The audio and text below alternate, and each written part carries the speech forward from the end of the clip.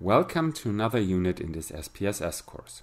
This time I'm going to talk about how we can use SPSS to run a kernel density estimation. Well, maybe you already realized that the standard version of SPSS does not include an estimator for kernel densities. That's due to the fact that for what we are going to do, we need the so-called R essentials for SPSS. If you never heard about the R essentials or just want to get a basic introduction in them, uh, feel free to visit the corresponding unit in this course. Else, I will just continue and assume you already installed this. So, if we want to do this, we can go to Analyze.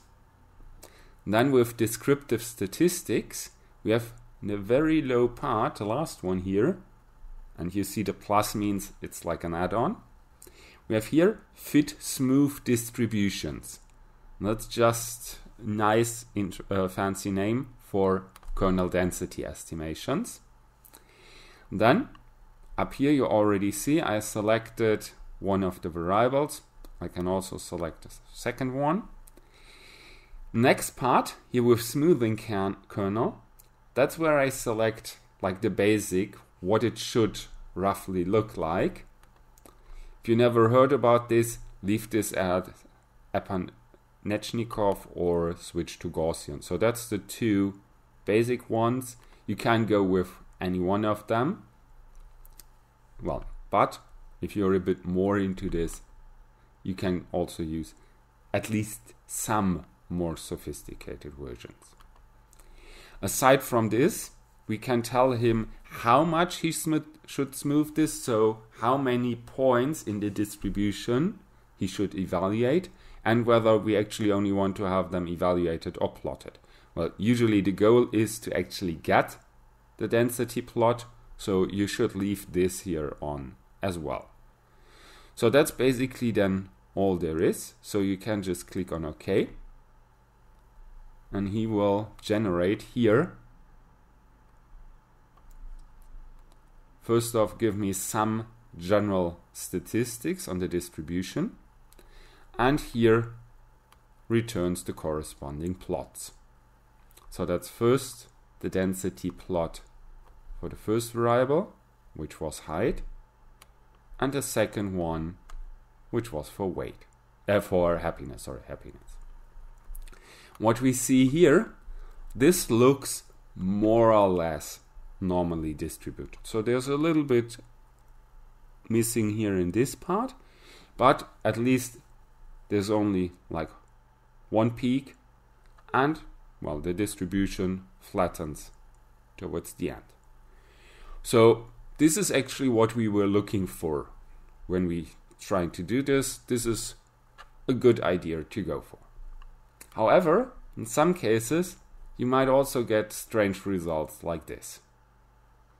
Well, why do we get results like this?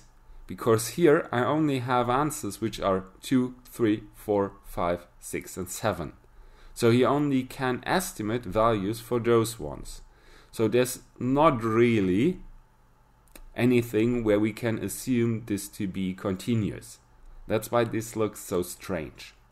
So best use the kernel density estimation only on variables where you can assume with a halfway decent, well, sensibility of the variables to actually be continuous.